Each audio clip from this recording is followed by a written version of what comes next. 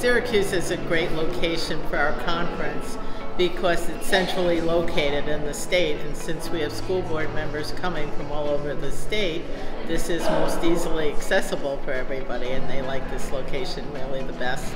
It hasn't been here for 20 years, so we're happy to be back.